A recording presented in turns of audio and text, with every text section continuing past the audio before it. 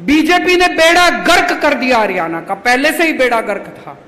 भ्रष्टाचार की तो सीमा ही खत्म हो गई। कोई सीमा नहीं छोड़ी।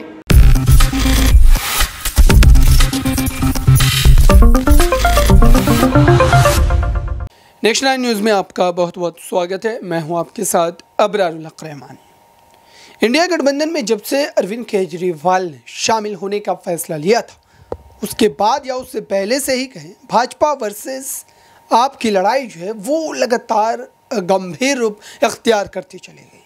और दरअसल इस लड़ाई का साफ़ तौर पर मतलब यही निकाला जा रहा है कि एमसीडी चुनाव में, या फिर आप कहें कि जो आम आदमी पार्टी की लगातार राजनीतिक विरासत जो बढ़ रही है अलग अलग राज्यों में पार्टी मज़बूत हो रही है, दरअसल इससे भाजपा को परेशानी है। और इन्हीं तमाम बातों को लेकर के अरविंद केजरीवाल का गुस्सा फुट पड़ा। उन्होंने साफ़ तौर पर कई मुद्दों को लेकर के, कई योजनाओं को लेकर के भारतीय जनता पार्टी से कई गंभीर सवाल पूछ लिया और ये भी कहा कि बीजेपी क्या इन मुद्दों पर उनके सामने खड़ी हो सकती है? क्या उनके सामने राजनीतिक लड़ाई लड़ सकती है? ये तमाम बड़े सवाल थे। लेकिन इसके बाद अब क्या ये माना जाना चाहिए कि और जो राज्यों में चुनाव होने वाले हैं या 2024 के जो चुनाव आने वाले हैं, इसमें फिर से एक बार लड़ाई जो है और ज़्यादा गहराती चली जाएगी।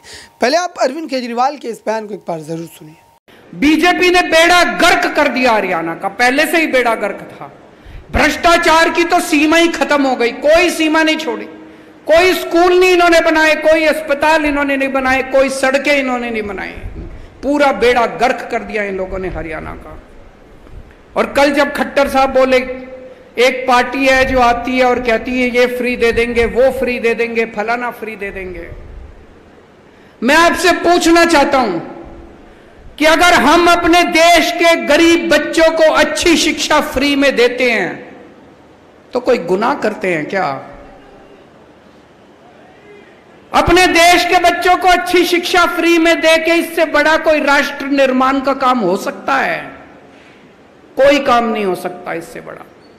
अगर हम अपने देश के लोगों को, गरीब लोगों को उनके लिए अच्छे अस्पताल बनाते हैं, उनके लिए अच्छे मोहल्ला क्लिनिक बनाते हैं उनका अच्छा इलाज कराते हैं। उनको फ्री में दवा दारू का इंतज़ाम करते हैं तो बताओ कौन सा कोई पाप करते हैं क्या हम लोग?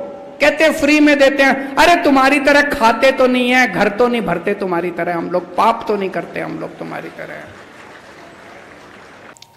तो आपने सुना दर्शकों वो मोहल्ला क्लिनिक से लेकर के और कई मामलों को लेकर भाजपा को चढ़ा रहे हैं और ये पूछ रहे हैं कि भाजपा इन मुद्दों पर काम क्यों नहीं कर रही? इन मुद्दों को लेकर के वो क्यों नहीं वोट मांग रहे हैं? क्या जनता उनको वोट नहीं देगी या भाजपा ने ऐसा काम ही नहीं किया है?